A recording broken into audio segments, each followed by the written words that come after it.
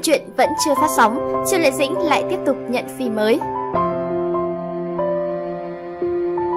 Năm nay, Triệu Lệ Dĩnh có hai bộ phim lớn phát sóng, đó là phim hiện đại đô thị Thời gian tươi đẹp của anh và em, cùng với phim cổ trang Minh Lan Chuyện. Bởi vì sức hút vô cùng cao của Triệu Lệ Dĩnh hiện nay, cộng thêm kỹ năng diễn xuất tốt, cô đã thu nạp thêm không ít fan hâm mộ và các tác phẩm của Triệu Lệ Dĩnh đều được mọi người ngày ngày mong chờ. Từ sau khi nổi tiếng nhờ vào tác phẩm Hoa Thiên Cốt, kịch bản phim truyền hình tìm đến cô không ngừng. Do quay phim quá cực nhọc dẫn đến bị thương ở lưng, nên sau khi đóng máy bộ phim Minh Lan Chuyện, Triệu Lệ Dĩnh tạm thời rút lui khỏi phim trường để nghỉ ngơi. Tuy nhiên, nhân khí của Triệu Lệ Dĩnh không hề giảm, mà trái lại còn không ngừng tăng cao. Vai diễn Lâm Thiện và Thịnh Minh Lan của cô được dân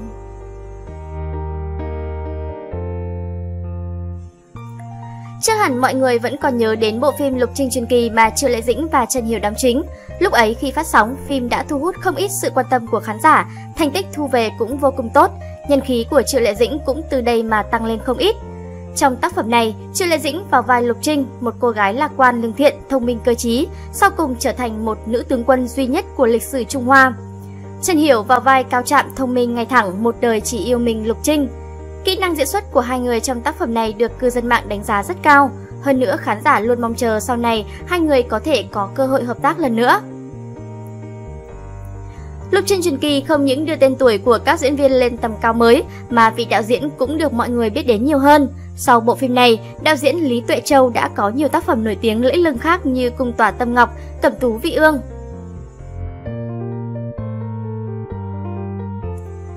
Gần đây có tin tức lan truyền rằng bộ phim điện ảnh mới Thanh Phong truyền kỳ do Lý Tuệ Châu làm đạo diễn sẽ mời Triệu Lệ Dĩnh tham gia diễn xuất. Thế nhưng lần này không phải đảm nhận vai nữ chính trong bộ phim mà chỉ là với tư cách khách mời đặc biệt mà thôi.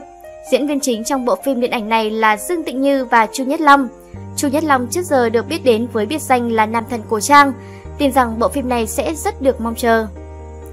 Tuy là vẫn chưa được công bố chính thức, thế nhưng tin tức này vẫn được không ít cư dân mạng quan tâm chú ý đến. Bạn nghĩ thế nào về tin tức này?